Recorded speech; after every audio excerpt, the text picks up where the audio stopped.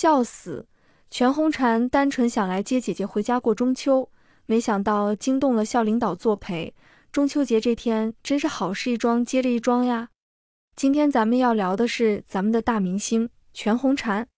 说起她这位奥运金牌得主，那可真是无人不知，无人不晓。而在这个圆月高悬的夜晚，她竟然骑着电动车出现在校园里接自己的姐姐。这一幕简直温馨到让小编我都忍不住想掉泪呢，而且整个事情居然还引发了一场盛典，连校方领导都亲自出动了，真是超乎我的想象啊！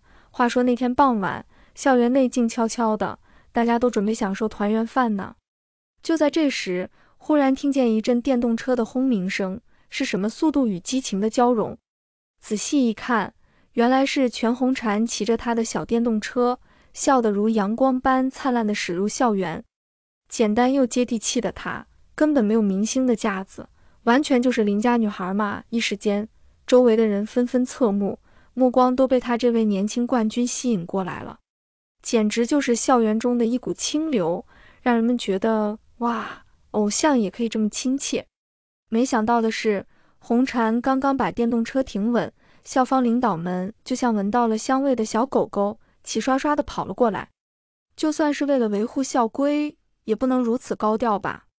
我们的校长、主任们，你看看我，我看看你，最后决定集体出动，给全红婵来个热情的迎接仪式，简直是金额级别的封神时刻，连在校园里都那么少见。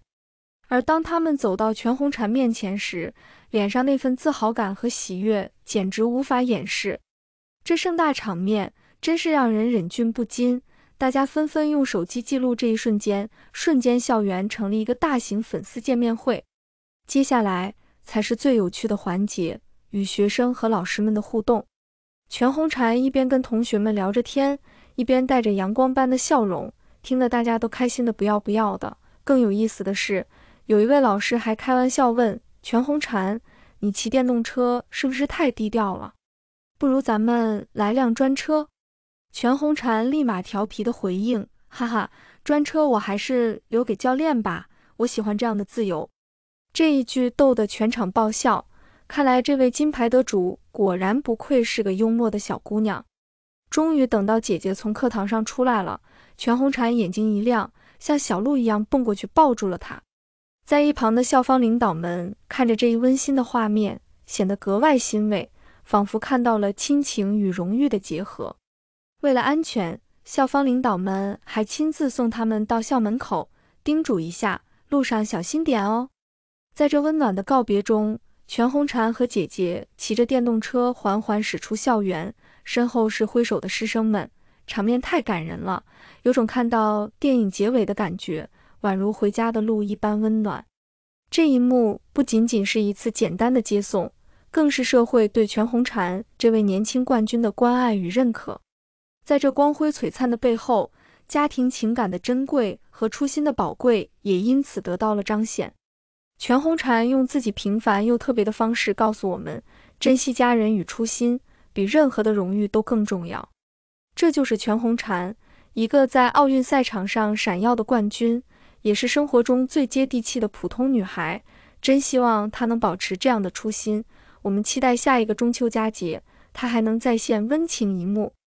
少有的宁静，全红婵这下玩嗨了，跑海边放风筝、挖花甲、头发吹炸毛。就在前几天，人民日报发表了“别再打扰全红婵”这篇锐评后，全红婵家门口终于有了难得清静，而全红婵这个假期也有了难得的自由。这不，全红婵这下玩嗨了，头发都吹得炸毛了，也晒黑了，挖贝壳、捞鱼、堆沙子、放风筝。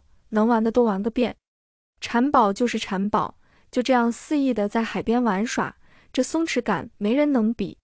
此刻没人在意他是奥运冠军了，就是一个放假之后尽情玩耍的孩子。事情经过，全红婵是九月十二日回到老家麦河镇的，本以为能够开开心心和家人过一个安静祥和的中秋节，但事与愿违，有的旅游团已经把全红婵家设为一个旅游景点。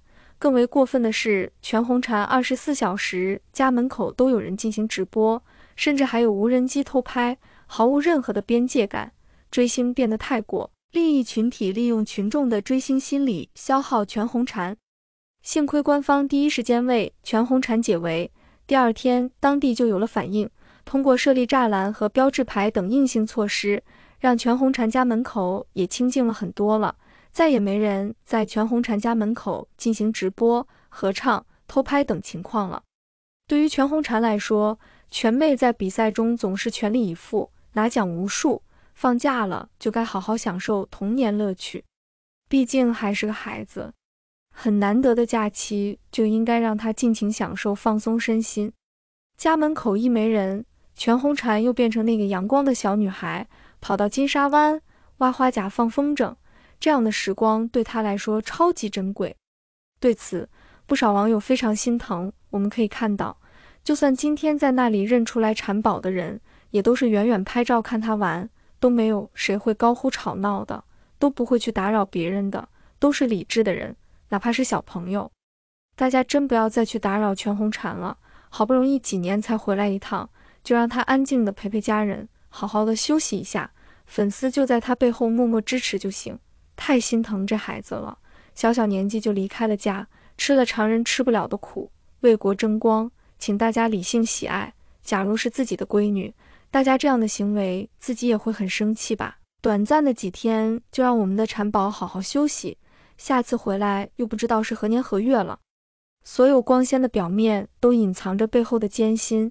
其实最累的是他，训练累，比赛累，回家更累。希望多点人理解他，毕竟还是个孩子，却顶着成年人的压力，本应该回家了，放松一下压力，陪家人无忧无虑的过节。陈芋汐中秋节和家人游玩四川大熊猫基地，没带保镖，穿着朴素四路人。不得不说，陈芋汐相较于全红婵来说，确实是比较低调的。这或许是因为她的人气不如全红婵那么高吧。九月十六日，有网友在四川大熊猫基地见到了跳水冠军陈芋汐。原来在中秋节，陈芋汐和家人一起到这里来看大熊猫了。他之前就说想去四川旅游，想去看花花。趁着中秋假期的闲暇时光，他特地远道而来，以达成自己的愿望，真的非常不容易。从背后看，陈芋汐的身高并不十分显眼，她的穿着打扮宛如邻家女孩，清纯可爱，身着背带裤，脚蹬运动鞋，她走起路来摇摇晃晃的，完全没有运动员的样子。反而给人一种普通人的轻松自在感。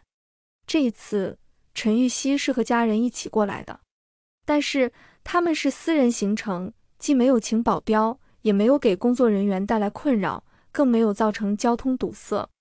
与全红婵回家时的待遇相比，简直是一个天上一个地下。当然，全红婵之所以会变成那样，并非她的主观意愿，而是被媒体和网友推向了那个境地。不过还是低调一点比较好。像陈芋汐这样的人，自由自在，没有什么烦恼。要是成了明星，那可就必须事事小心，处处留意，一点都不轻松。